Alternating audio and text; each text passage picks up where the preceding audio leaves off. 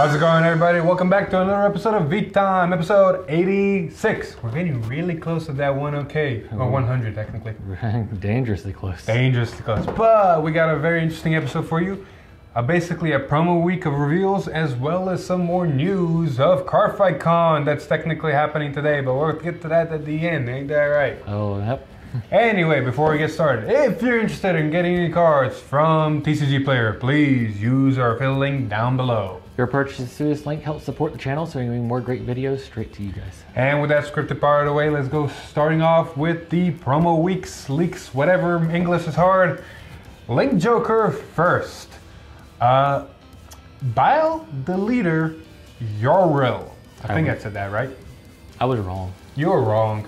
I was so wrong. These are not starters. These are not, Not starters. bit. Anyway, we thought the leaders would die, but we were wrong. And this card is very interesting in what it does because it's honestly not too bad. Mm. So, continues. Rearguard. If your opponent's Vanguard is deleted, when this card would be put into your drop zone by a card's ability, this card is regarded as three rearguards. Also, auto rearguard when it attacks. If this unit this unit gets 2k until the end of that battle. So not only does it, you know, help the whole deleter engine, but makes your given plays a lot cheaper. It's funny if you have two of these in your hand and you ditch them, it's equivalently of discarding your drive check and just having restanding. If your opponent's finger is deleted, when this card would be put into your drop zone. Yeah, put in drop zone means from hand or field. Yes. So it does reco- uh, get regarded as three rear guards. So yeah, like you said, that's two of these. That's a full given cost. So yeah, helps the deleter engine. Granted, as much as this does help, and we do have a grade one that can come back from drop zone after it's uh, retired. I think the leader is still missing that extra oomph to make them decent because they're still missing a couple pieces here and there. Also, this is a pretty good beater all the way, all around. It does generically get 2k, so it's always going to be a 10k. Not wrong, and your vanguard, your opponent's vanguard is deleted, so there's zero. So that's basically like gaining 12k extra power overall. Mm-hmm. Not bad. Anyway, moving on, moving on, moving on. Hey, look, it's the Gear Fox. I mean, Gear Puppy protecting memories. Not a starter, even though it's a grade zero. Yep. But makes up for it in skills. So first skill is continuous bind zone. This card gets grade plus four. Wait, what? Um, extra turns I hear. Yeah. Auto rear guard at the end of the battle that it boosted cost bind this unit and draw a card. So It's like you didn't even play it in your deck. It's just you're running less cards in your deck because it replaces itself. no, no, mm, yeah, placing stuff and you add four cards to your bind zone. Yeah, Jesus Christ. it's amazing. Uh, yeah, it gives you an excuse to take out Valkyrie out of your deck. Gives you more targets for binding, and you already have that grade three that accelerated the whole bind mechanic before. So there might be potential here. Yeah, might. we don't know. Mystery Flare might be a viable deck now. Who knows? Hey, Mr. Timely, let us know if this changes anything. You're the expert here. anyway, moving on, moving on, moving on. Tuesday's stream happened, and we didn't get any big reveals. We did get one card that finished fishing season in Bermuda, and I wish we got this card a little bit sooner because we recorded something using Highlander that this would have been amazing in, but that's here no there. And the card we are talking about is Popple Empathy Betty. I'm hoping I pronounced that right. Regardless, it's a great one that works amazingly with Highlander because Auto Vanguard Rearguard, when placed, reveal cards from the top of your deck. And if all of the normal units revealed have different card names, put up to one card from your hand on the bottom of your deck and put up to put a card, put up to one. Ah, if you put a card, put up to one of the reveal cards into your hand and shuffle your deck. So not only does this put your grade fours and grade threes that you want back in your deck for a reindeer, this can also fix your hand and give you any piece you want out of the top seven. Not only that, not only that, because of the way it's worded, you don't have to put the normal units. You put anything that was revealed. So even a reindeer that's regarded as a trigger unit for this effect can be put into your hand. A good. yeah, a goody good. Yeah, yeah. It also helps you cinch out pieces like uh, your Pearl Sisters Hey. because you always have like one and you're really digging. It digs what the top seven. top seven. So yeah, you can help dig even faster for your pieces. And sure, you don't get any, you don't get a, you don't get the exact card you want, like the grade three searches out your card, but you can get anything that includes triggers. So, Basically, regardless of the situation, whenever you see it, it is a play it and let's see what we got. yeah, it's a replace a card in your hand, but it can get your PGs because it doesn't have to be a normal unit. You know what? You don't even have to put your grade threes and fours back in the deck. You can even put the triggers. You put anything back into your deck. Mm-hmm. Good card overall. Yeah. Sad we didn't get to use it. Eh, it's only like it's a one up in your deck, anyways. You're not wrong. Moving on. Uh, so, Nubatama, and it got, in my opinion, probably one of the better cards of these leaks. Uh, Stealth Beast Jado Cat. Uh, Continuous Soul. If you have a Vanguard with Magatsu in this card name, this card gets grade plus two. It's grade three in Soul. Mm, that is great. That can matter a lot. Um, auto rearguard at the end of the battle that it boosted. If you have a Vanguard with Magatsu in its card name, cost put this unit into your soul. Choose any number of your normal units on rearguard and return them to your hand. So this satisfies both the soul requirements and the bounce requirements for Magatsu. So you can just play off immediately grade three. And it gives you some early game because if you have the Magatsu grade two or one, you can just throw this down and bounce everything. Ow. Why? I don't know. It's honestly, I can't say nothing about it. It's an amazing card. Like you said, it activates all of the Magatsu great restrictions of having a grade three in soul immediately when you ride it. Not to mention it replaces, and it doesn't really replace itself, but it puts itself easily into soul. Another thing to mention, it activates any, because it counts as a grade three in soul, it activates any cost that needs to soul blast a grade three. So your uh, interceptors, your bird that makes your opponent discard cards, they're always active if you have a Magatsu Vanguard. Not only that, like uh, Nubatama already had a grade two game where it bounced its field back. This guarantees it because if you only have this and not the other pieces, you have a Magatsu grade two. You swing at your field, you swing with this last as uh, boosted, and now your entire field goes back to your hand. Granted, it has to be normal units, but still. I mean, the funny part about this is, is you know, you have those card, like cards like bind your uh, Soul Blaster Grade Three, bind your drop zone, gets power, everything. Mm-hmm.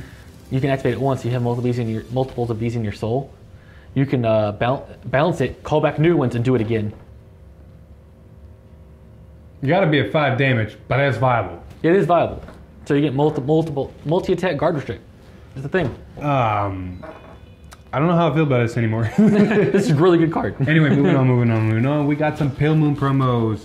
Nightmare Doll Tosca. It's a grade one, and it might be foreshadowing or it might be helping the Nightmare Doll support we're gonna see in clan selection. And its effect is Auto Vanguard Rearguard. One place from hand. Look at five cards on top of your deck. Put up to one worker from among them into your soul and shuffle your deck. Simple, straightforward, might be really good. I'm not a Pale Moon player, so I got no clue. Man, you really do want those worker word grade twos, like uh, I forgot her name, the one that works with Alice to call Alice out. I mean, most of the deck is Worker Road, so she can put anything. Not to mention the new cards we know are going to support the Worker Road engine in Alice. Shut up.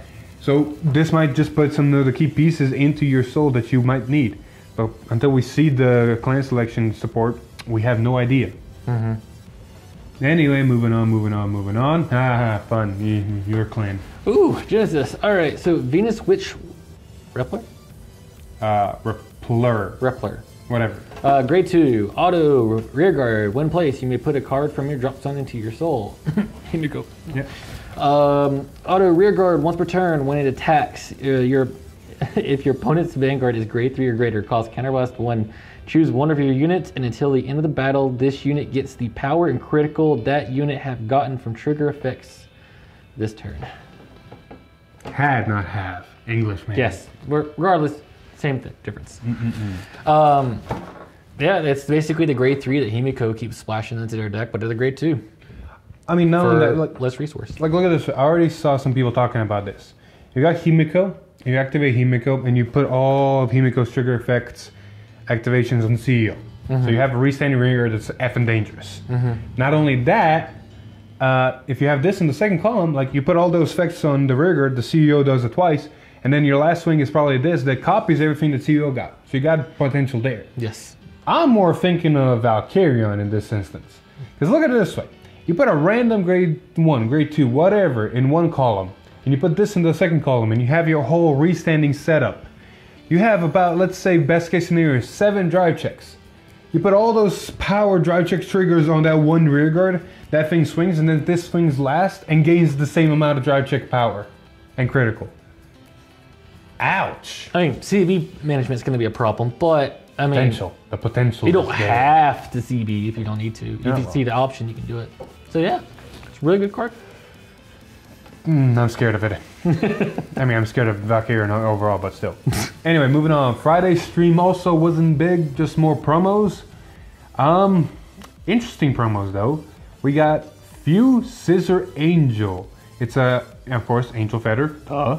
But auto rearguard when placed if your damage zone has a normal unit. Soul Blast 1, put the top card of your deck into your damage zone and put a face up normal unit from your damage zone on the top of your deck.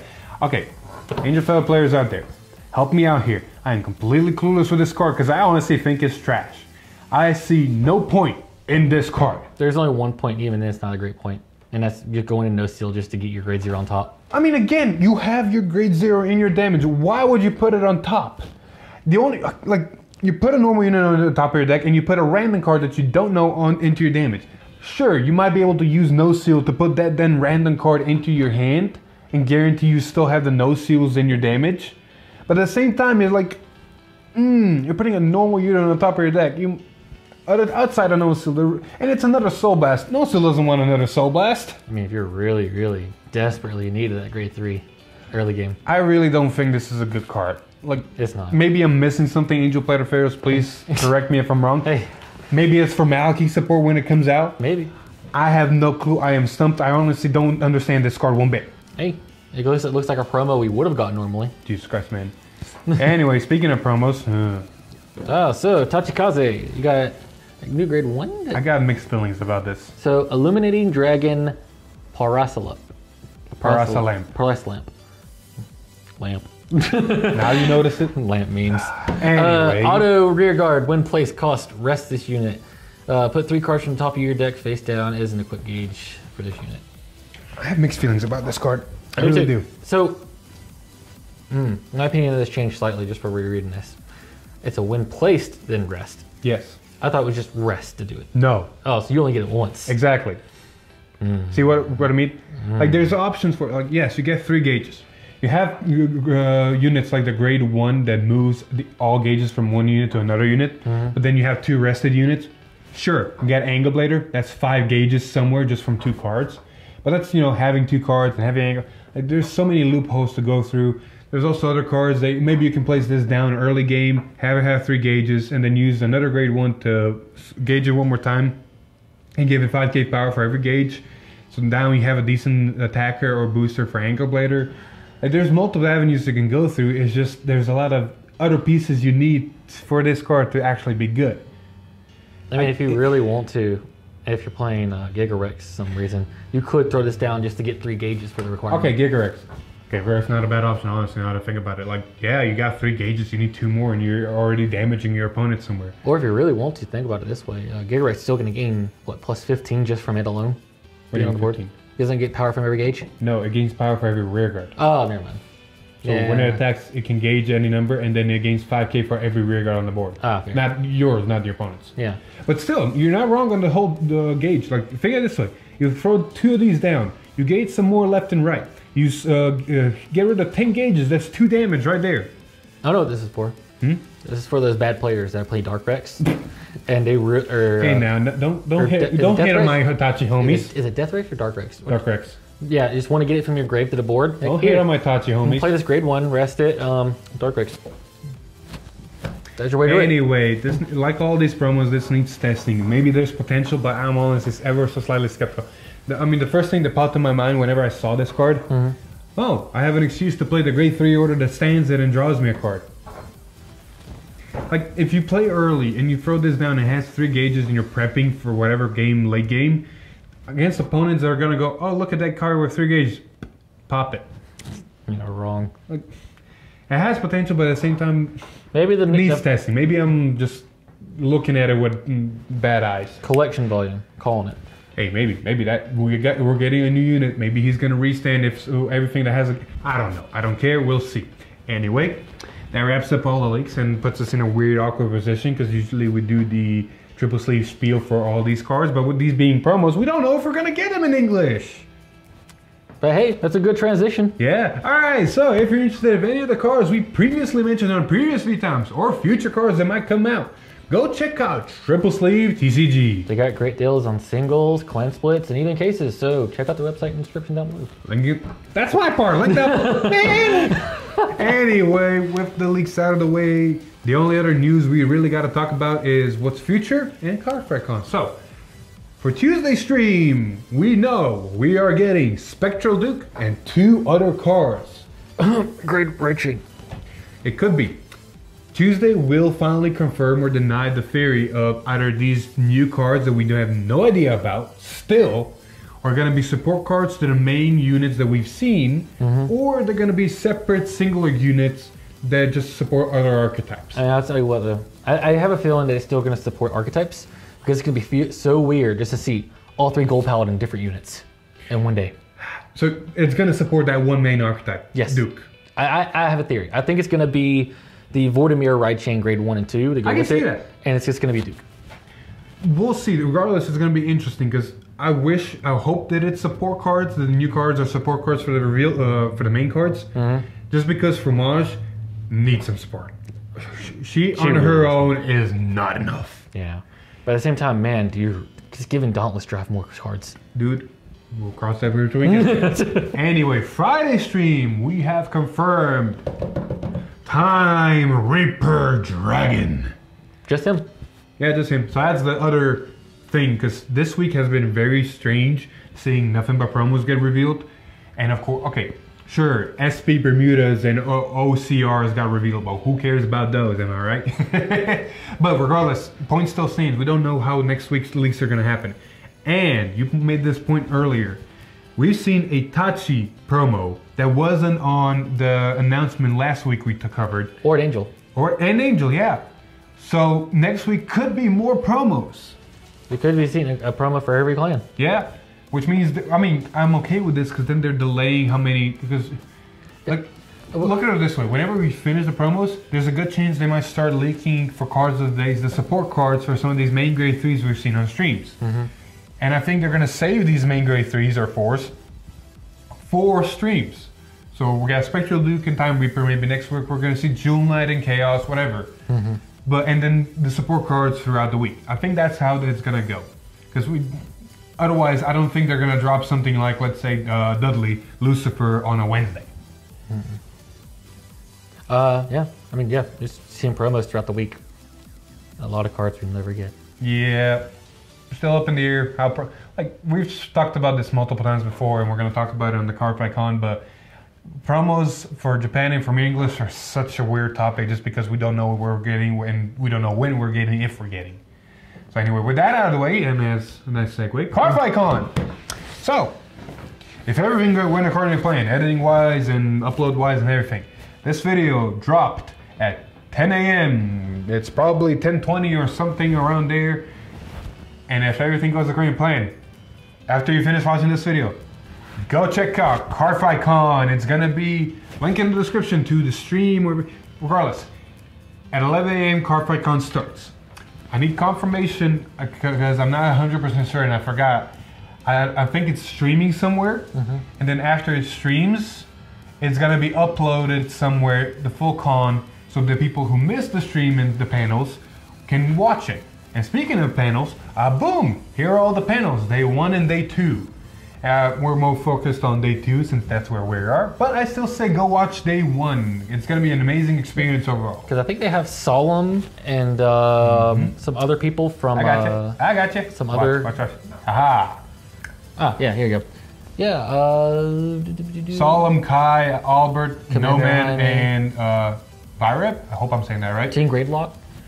There's a lot of good creators, and it's a hell of a lot of fun. And I can't wait to see some of these other panels because we only know about the panels we've been part of, mm-hmm.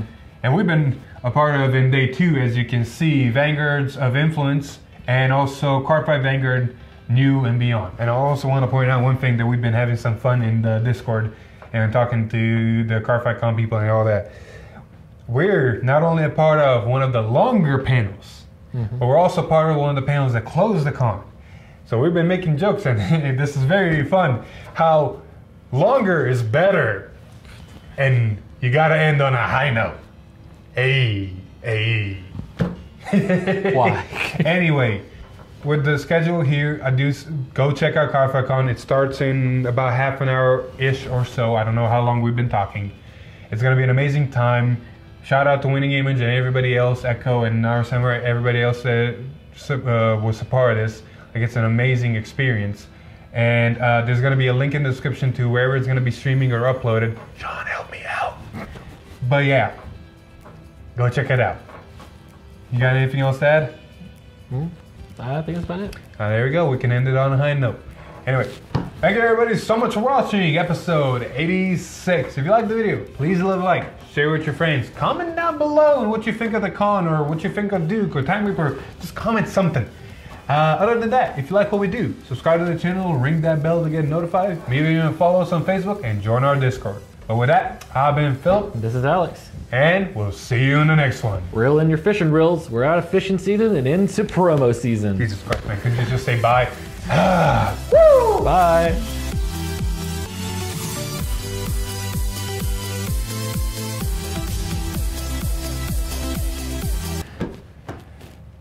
All right, we're done. And I see you finally got dressed. Influence. I'm never gonna let this go. Nope.